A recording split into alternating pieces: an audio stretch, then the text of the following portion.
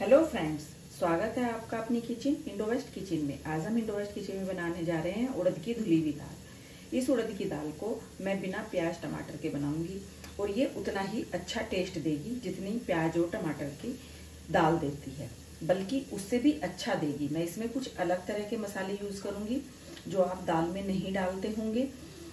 बस इस दाल को बनाते हुए मेरी शर्त इतनी सी है कि आप जब इस दाल को बनाएँ और इस रेसिपी को बनाएँ तो आप मसाले मेरे हिसाब से, मेरे तरीके से और स्टेप टू स्टेप बनाएँ। तो आपकी दाल बहुत अच्छी बनेगी और इस दाल को दो तीन बार धोकर हम आधा घंटे के लिए भिगो देंगे। इतने हमारी दाल भिगेगी, इतने हम एक कटोरी लेंगे और उसमें हम कुछ मसाले तैयार करेंगे। आधा चम्मच दालचीनी का पाउडर, आधा चम्मच पिसी सौंठ अदरक का पाउडर जिंजर पाउडर, एक बड़ा चम्मच पिसा धनिया। इसमें हम थोड़ा सा पानी डालेंगे। आधा चम्मच लाल मिर्च। अच्छे से मिक्स कर लें इसको। अब जितनी देर हमारी दाल भीगती है, उतनी देर ही ये मसाले भीगने चाहिए। जब भी आप दाल भिगोएँ साथ साथ मसालों को भिगो कर रख दें।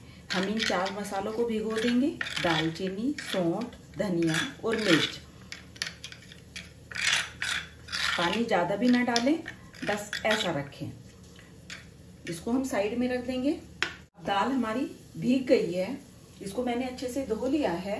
अब हम एक कुकर लेंगे। वैसे तो ये दाल हांडी में बनती है, खुले में बनती है, लेकिन उसमें बहुत वक्त लगता है। तो हम इसको पहले कुकर में करेंगे। तो हम इस दाल को डाल देंगे।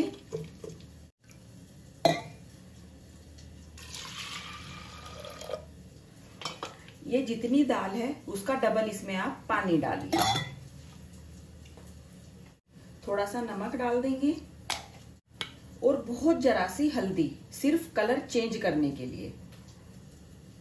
क्योंकि हल्दी का यूज़ हम बाद में करेंगे।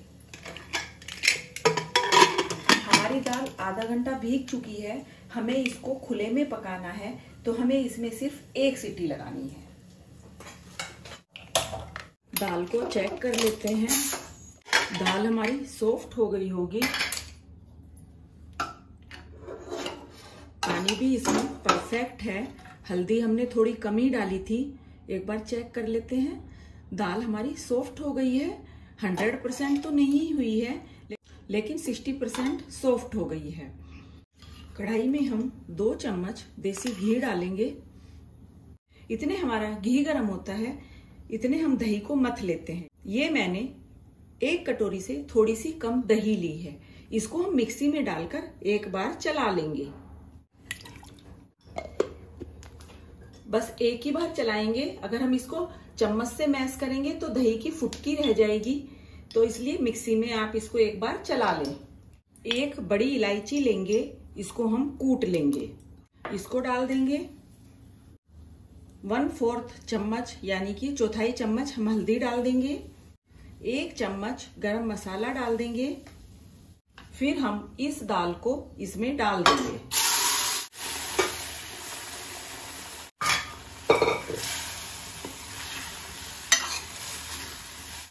अच्छे से मिक्स करें इसको। अगर आपकी दाल थोड़ी सी खड़ी है तो आप इसमें थोड़ा सा पानी डालकर इसको ढक दीजिए। हमने नमक इसमें कम डाला था तो थोड़ा सा नमक और डाल दीजिए। आप अपने टेस्ट के अनुसार। और इसको ढककर करीब पाँच मिनट तक पकाइए। दाल चेक कर लेते हैं। अब इसमें हम ये दही डाल देंगे। जो हमने मिक्सी में डालकर चलाई है।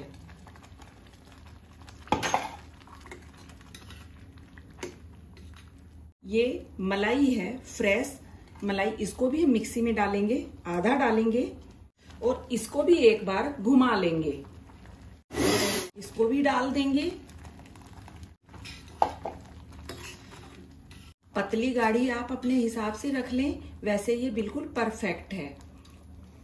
अब हम इसमें एक उबाल आने देंगे। अब हम इसमें दही और मलाई डाल चुके हैं। उसके बाद हम इसमें ये जो मसाला हमने भिगो कर रखा था, वो डाल देंगे।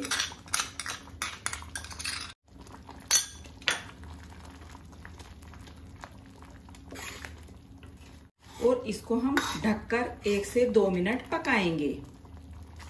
दाल हमारी पक गई है। इसको हम साइड में रख देते हैं। अब हम इसके लिए तड़का तैयार करेंगे। दो चम्मच देसी घी डालेंगे। आधा चम्मच जीरा। दो छोटी इलायची, इनको हम कूट लेंगे।